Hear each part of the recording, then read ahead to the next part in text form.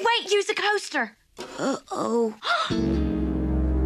What have you done? That coffee table is trashed. Your parents trusted us, Bobby, and we let them down. They won't be home for 48 hours. I'll think of something. Hey, I got it. You think of something.